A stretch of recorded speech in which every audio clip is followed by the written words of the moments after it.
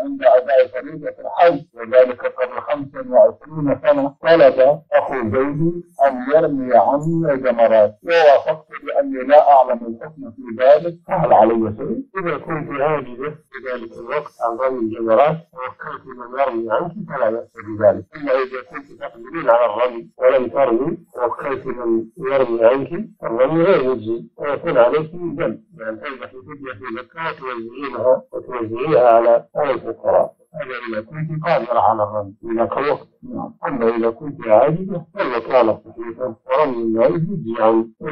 الحمد لله جزاكم الله خيرا وأحسن إليكم